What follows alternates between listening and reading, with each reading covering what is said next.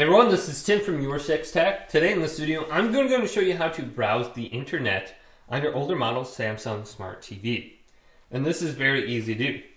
On your remote, there will be a Media P button right here next to volume. Let's press this, and it's going to bring us to the Smart Hub.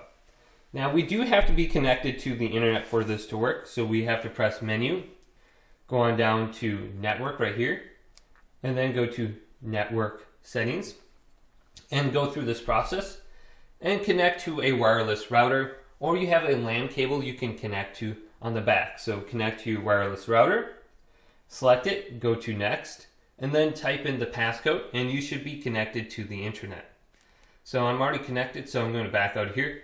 But as soon as I come to this section, I have the option for a web browser. So I do have a mouse connected right now, and let's just go to yes on this stuff and close this down and this will make everything a lot easier to scroll through the different menus. So you got home, refresh, you got your bookmarks right here, and then you can go to history. So I pretty much just went to Bing and Google. I don't really use this a whole lot. Then you have control panels down here, link browsing, picture in picture, tools. So I can go to tools, see my control panel right here. I think this just removes the URL bar so let's type in a, a website I use a lot on my keyboard now. And if your keyboard and mouse don't work, just simply unplug them and plug them back in.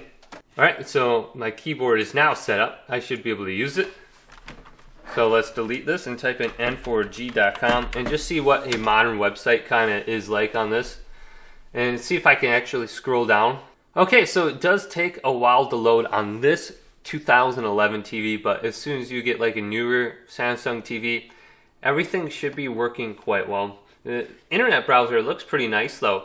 It just needs to load quicker. But hopefully this video did indeed help you guys out. If did, leave a big thumbs up and subscribe my channel down below for more tech up videos coming up next on Your 6 Tech.